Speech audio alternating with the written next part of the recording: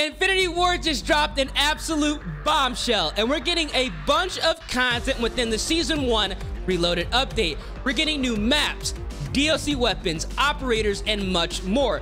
So with that being said, like on this video is going to be 500 likes, and if you guys want to stay up to date with any and all news as well as updates, make sure you guys are subscribed to the channel and turning on those post notifications so you're staying in the loop. Now, first off, we're getting shipment Thank God. This is going to be perfect for us grinding camos. The challenges are going to be getting very easy to get done within shipment. I'm going to go ahead and put a screenshot on the map for you guys right now. I'm also going to be playing shipment gameplay from Modern Warfare 2019 to compare. Luckily, shipment in Modern Warfare 2 looks like a direct carbon copy which is in my opinion a very good thing. Let me know down in the comment section right now, did you guys enjoy shit within Modern Warfare 2019? Because if you did, it looks like you're enjoying it a lot here in Modern Warfare 2022. It's gonna be perfect to get those double kills, long range kills if you sit in the back of the map and take people out, you know, when they're spawning in. And obviously, it's gonna be a lot easier to get those bloodthirsties, those three kills without dying all those challenges you need to go ahead and get gold and eventually the Orion camo. Honestly, I think I'm gonna get this done within the next couple of days after shipment is released. But again, like I said, let me know down in the comment section if you guys enjoy shipment and if you think that the Modern Warfare 2019 version, which is what we're essentially gonna be getting this year, actually is going to play well.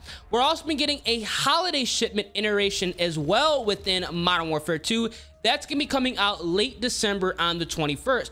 I'm going to go ahead and put a screenshot of that version of shipment on the screen as well. This is essentially going to replace replace the shipment we have or what we're going to be getting when the update does drop on the 14th on the 21st and when obviously the holidays are over it's going to revert back to the modern warfare 2022's slash 19's original shipment if that makes any sense the same thing happened in 2019 it's essentially going to happen here in 2022 so do not fear. Now, within this new, I should say, holiday shipment vibe, there is going to be a mini season going on, similar to what we saw within Call of Duty Vanguard. Now, I'm actually going to go ahead and put the screenshot of the Battle Pass that we did get within Vanguard's holiday, I should say, season event. They did drop a roadmap, so we're going to be getting even more content and some challenges to complete during this time.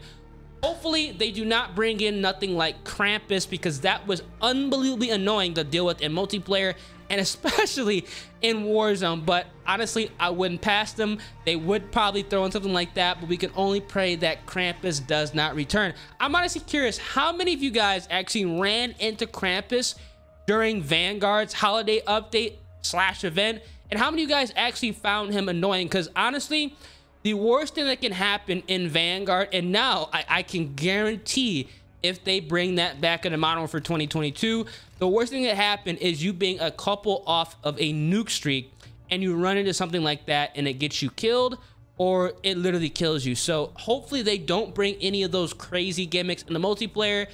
It just will not play well here with the Modern Warfare 22. I can guarantee you that. Now, also within this Reloaded update, we are getting a new DLC weapon and potentially a surprise DLC weapon as well. The Chimera as well as the Kali Sticks. Now, we saw the Kali Sticks back in Modern Warfare 2019. They were a pretty cool DLC weapon. Those have been thrown around. There's been leaked images of that being a part of a new finishing move. And obviously, if the weapon is within a finishing move, most likely it's going to be coming into the multiplayer. So expect the Kali Sticks to drop sometime during the mid-season update for Season 1. Now, obviously, we are going to be getting the Chimera DLC weapon. We knew about this actually before the mid-season update even was teased. We had access to play with the Chimera. I'm going to go ahead and show gameplay of that DLC weapon right now. And you have your Honey Badger available to go ahead and have fun with in the private match section of the firing range go ahead and see exactly how this weapon does perform. Now, it has a fast fire rate. The iron sights are pretty clear, but I do wish you were able to technically take off the integrated suppressor. Let me know down in the comment section what you guys think. The range on this weapon, we're going to try to take this target out back here.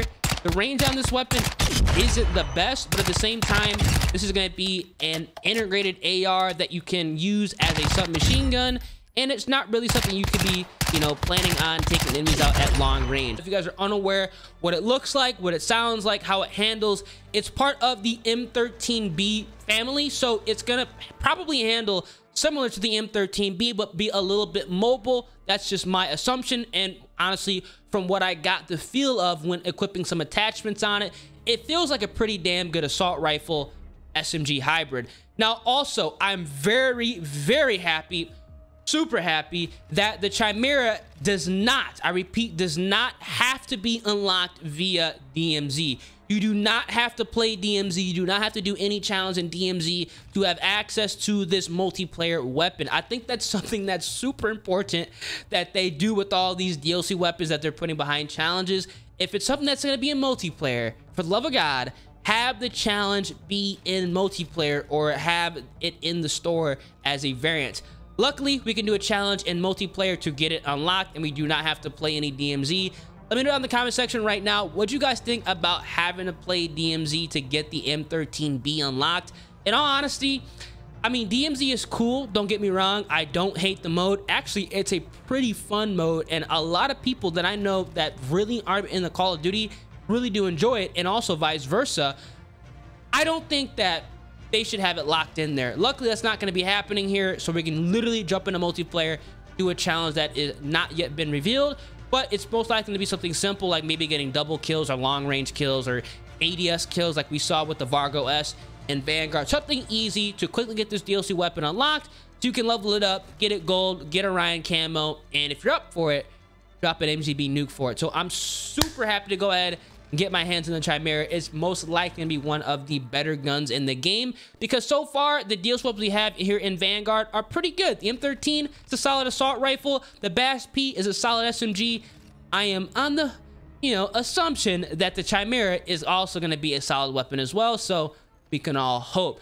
We're also getting some new operators as well. We're getting Gaz. He's going to be returning. I'm going to go ahead and show a screenshot of him on the screen right now for you guys. A fan favorite operator. We all know Gaz. He's an OG, man. We saw him in the original COD 4. We saw him in Modern Warfare 2019. We're now having him here in Modern Warfare 2022. And we're also been getting another operator, Claus. He looks pretty cool. I'm not going to lie. I'm going to go ahead and put a screenshot of him on the screen for you guys to check out. Let me know which you guys are excited for. The Chimera is going to be a bundle within Gaz, most likely. I mean, it's in his hands quite literally. So I can assume there's going to be some type of operator bundle with the Chimera we can go ahead and buy that's going to have a different skin, maybe even a tracer pack. We can only hope. And go ahead and, you know, have some fun with this new DLC weapon and honestly relive the, you know, Honey Badger days back in Call of Duty Ghosts. That's going to be a majority of the important content coming within the Season 1 Reloaded update. We are going to be getting raids, which if you guys are unaware, there's going to be just missions and quests you guys can complete. It's technically a continuation of the campaign. And obviously, we can expect to see some more additional content during the Christmas event that we are going to be having later on during the Season 1 Reloaded update. I will make a video on that when more information does drop. So if you guys enjoyed the video, if you guys are excited for Season 1 Reloaded, make sure you guys drop like in the video, subscribe to the channel, and also turn those post notifications. It's been a boy ears, and I'm going to catch you guys in the next one. Deuces.